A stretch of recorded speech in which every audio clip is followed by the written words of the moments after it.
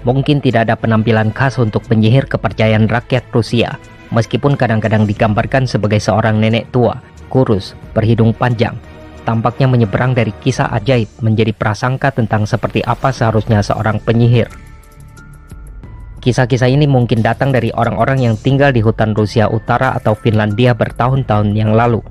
Selama berabad-abad, mereka memiliki patung batu bernama Yaga. Seringkali patung-patung itu memiliki gubuk kecil mereka sendiri, dibangun di atas tunggul pohon penuh dengan hadiah. Itu adalah patung dewi lokal yang dimintai nasihat oleh orang-orang. Dia juga memiliki kekuatan untuk memutuskan apa yang terjadi pada orang-orang seperti Baba Yaga.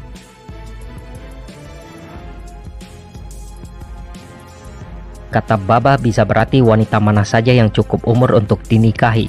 Namun dalam cerita, Baba Yaga sering digambarkan sebagai penyihir tua yang menakutkan, liar, dengan nafsu makan yang buruk. Di suatu tempat di bagian timur Eropa yang sangat dingin di musim dingin, ada sebuah hutan yang gelap. Jika ada yang berani atau cukup bodoh untuk pergi berkeliaran di hutan itu, ada kemungkinan besar mereka akan menemukan rumah yang aneh, seperti gubuk kayu, tapi tidak seperti yang pernah dilihat karena gubuk itu berdiri di atas kaki ayam raksasa dan bisa berjalan seperti burung di halaman peternakan yang mengerikan. Gubuk tersebut juga bisa berbalik atau berpindah tempat sesuai perintah. Gubuk aneh itu adalah rumah Baba Yaga. Sangat tidak dianjurkan untuk mengetuk pintu gubuk tersebut karena jika kurang beruntung akan bertemu dengan sang penyihir tua. Di tepi hutan Baba Yaga ada sebuah desa kecil dan semua orang yang tinggal di sana tahu tentang gubuk aneh itu serta wanita tua yang tinggal di dalamnya. Mereka mengenalnya dan takut padanya karena telah lama dikabarkan bahwa dia suka menculik dan memangsa anak kecil. Baba Yaga sering terlihat menutupi kompornya atau berbaring di gubuk di seluruh bentangan dengan hidungnya yang besar dan panjang menyentuh langit-langit. Baba Yaga adalah salah satu penyihir paling terkenal namun membingungkan dalam cerita rakyat Slavia dan dongeng anak-anak. Jika bertemu dengannya, tidak yakin apakah dia akan memakan atau berbicara dengan lembut dan mengabulkan keinginan. Legenda Baba Yaga mungkin muncul ketika agama-agama di Eropa berisi jajaran dewa dan makhluk yang keduanya mengendalikan kekuatan alam dan nasib manusia. Tidak ada yang tahu pasti kapan atau di mana ceritanya berasal, namun tampaknya dia telah menjadi bagian dari tradisi lisan di Eropa Timur dan Rusia selama ribuan tahun. Penyihir Rusia digambarkan sebagai wanita tua yang cacat dan kurus, dengan kaki kurus, hidung bengkok yang sangat panjang, mata dingin yang menusuk dan gigi besi. Setiap bagian tubuh termasuk mata, telinga, kaki, tangan dan mulutnya sangat aneh dan cacat. Dengan sikap yang kuat dan sangat membara, dia menanamkan rasa takut serta rasa hormat pada setiap orang yang bertemu dengannya. Ada berbagai versi cerita penyihir Baba Yaga. Beberapa orang mengatakan bahwa dia adalah penyihir tunggal atau trio penyihir yang semuanya memiliki nama yang sama. Sebagian besar kisah menceritakan bahwa dia berkeliling hutan dengan lesung raksasa dan mengemudikannya dengan alu yang dipegangnya di tangan kanan sedangkan tangan kiri memegang sapu yang berfungsi untuk menghapus semua jejaknya sehingga tidak ada yang bisa menemukannya. Baba Yaga memiliki kemampuan menakutkan untuk melepaskan tangannya dari tubuhnya, sehingga dia dapat meminta orang-orang untuk melakukan perintahnya.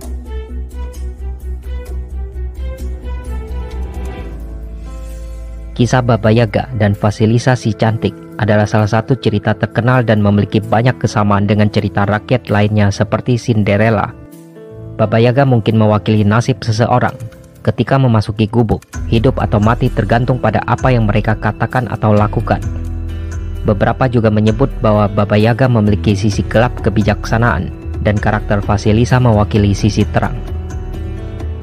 Vasilisa si cantik mengisahkan tentang seorang gadis muda cantik dengan boneka ajaib yang ibunya meninggal dan ayahnya menikah lagi dengan seorang wanita yang memiliki dua orang putri yang sama jahatnya mereka iri terhadap kecantikan yang dimiliki Vasilisa. Ibu tiri dan dua saudara tirinya memberi Vasilisa pekerjaan yang berat dan tidak memberi makan yang cukup dengan harapan Vasilisa akan menjadi jelek. Tapi beruntung Vasilisa selalu dibantu oleh boneka ajaibnya. Ketika Vasilisa cukup umur dan banyak pria muda datang mencoba merayunya, sang ibu tiri menolak mereka semua. dengan alasan bahwa tidak pantas gadis yang lebih muda untuk menikah sebelum gadis yang lebih tua. Namun tidak ada yang mau menikah dengan kedua saudara tiri Vasilisa. Suatu saat, ketika ayahnya harus pergi untuk suatu tugas keluar kota, ibu tirinya memberi tugas yang sangat berat pada Vasilisa, menuntut dia agar pergi untuk mengambil cahaya dari pondok Baba Yaga. Vasilisa tentu saja ketakutan karena mengetahui rumor bahwa Baba Yaga suka memangsa manusia tapi ia sama sekali tidak bisa menghindari untuk bertemu Baba Yaga. Setelah mengetahui maksud kedatangan Vasilisa, Baba Yaga menyuruhnya mengerjakan banyak tugas yang harus ia selesaikan sebelum memberinya cahaya. Dengan bantuan boneka ajaib, tugas-tugas berat itu bisa diselesaikan Vasilisa. Dan pada akhirnya, Baba Yaga mengirimnya pulang dengan tengkorak berisi cahaya api. Begitu dibawa ke rumah, Cahaya tersebut membakar ibu tiri dan saudara tirinya yang jahat menjadi abu.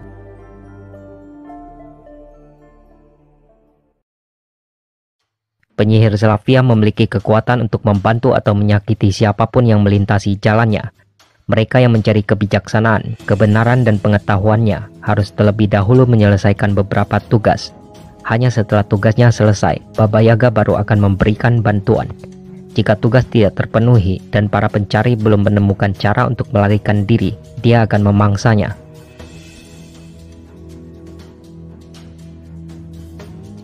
Baba Yaga adalah karakter yang misterius dan agak membingungkan.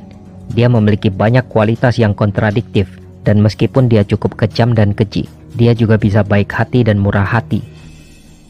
Seperti banyak mitos dan cerita rakyat, cerita-cerita ini juga memiliki pesan moral jika kita baik dan bijaksana, mendengarkan orang tua dan menggunakan intuisi, kita akan dihargai. Tetapi jika kita kejam dan tidak baik, seperti ibu tiri yang jahat dan putri-putrinya, kita mungkin akan menemui akhir yang buruk. Karakter Baba Yaga adalah asal dari banyak ketidakpastian di sekitarnya. Dia bervariasi antara bertindak sebagai dermawan dan penjahat, baik membantu pahlawan mitos Slavia atau menghalangi mereka. Meskipun tampaknya dia tidak pernah mengejar siapa pun tanpa alasan, artinya tanpa orang itu setidaknya datang ke pintu gubuknya. Dia tampaknya memiliki sedikit moral, namun demikian janji apa pun yang dia buat kepada pahlawan setelah dia menyelesaikan tugasnya pasti ditepati. Sebagian besar cerita menonjol tentang Baba Yaga, bukan tentang dia secara langsung, tetapi tentang para pahlawan yang bertemu dengannya.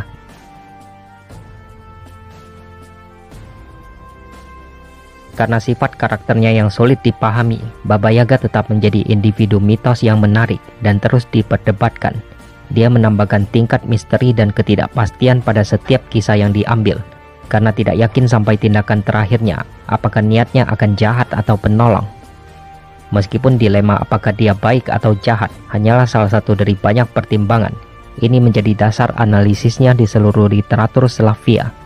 Salah satu yang tak terduga dan liar, tak terduga dan abadi, yang seperti Baba Yaga